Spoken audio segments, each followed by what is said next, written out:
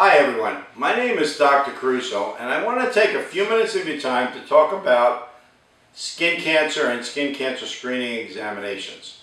We hope to limit this to about five minutes and we really appreciate your time. Skin cancer is becoming an increasingly common problem. About 20% of the United States population at some time in their lives will develop a skin cancer.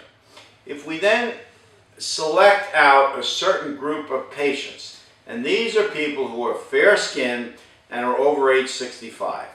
And the likelihood, if you fit into this category, and some of you are listening to our talk may fit into this category, the likelihood of you developing a skin cancer is about 50%. We then add in that you might have spent some time during your life outdoors a lot, playing golf, gardening, swimming, or have an occupational exposure, or that you were born and raised in Florida, have lived in Florida for many years. This number in some cases goes up as high as 70%. Now I want to add another very interesting thing in as well.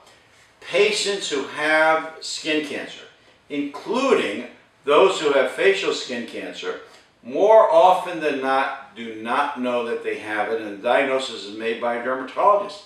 And in fact, 60% of skin cancers are diagnosed by the dermatologist, not by the patient.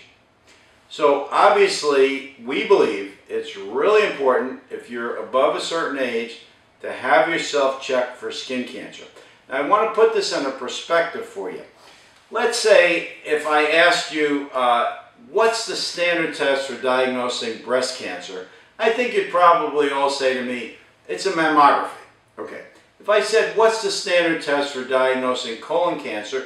Most of you would say, I think it's something called a colonoscopy, and that, by the way, is an extremely valuable diagnostic test. Likewise, prostate cancer can be diagnosed with a blood test. Well, skin cancer is far and away much more common than any of these other types of skin cancer, and yet if I asked you the same question, what is the standard test for diagnosing skin cancer?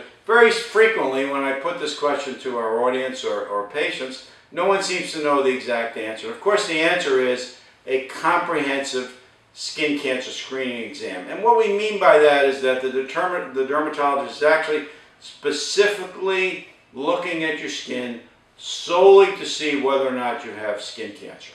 Okay. The problem is that this test is not recognized by our insurance system. So if you were to say, gee, I heard Dr. Caruso speak and I think it's a great idea to be checked for skin cancer, unfortunately, it's something you're going to have to pay for yourself. Obviously, this situation should not exist, and at least in our practice, we then provide this very valuable diagnostic test without charge. You'd simply make an appointment, tell us you want to have a skin cancer screening exam done, and either myself or my physician assistant Leslie performs these examinations. They take about five minutes and are very high value to you. If we do find something and you have a dermatologist, we're more than happy to provide you with our records and a black and white photo of the suspicious area and ask you to see your dermatologist. If you would like, we're able to perform the biopsy the day that we see you if something suspicious is found. So what I've hoped I've done is to awaken your interest in the fact that skin cancer is really common and there's an important diagnostic test that should be done if you're at high risk. Why should it be done? Because if you have a skin cancer, there's a high likelihood it's going to be on your face. If you do have this, it's awfully uh, easier to treat it when it's quite small and the scar will be invisible than to deal with something which you finally notice yourself when it's achieved significant size. If you'd like to avail yourself of this, or if you want to know some more about it, please call our office, 634-1455, 782-2165. Our appointment clerk will be happy to set up a time, either for a buffet which we provide, and that during the buffet I answer a whole lot of questions you may have about skin cancer and skin cancer screening examinations, or to set up a time for an exam directly.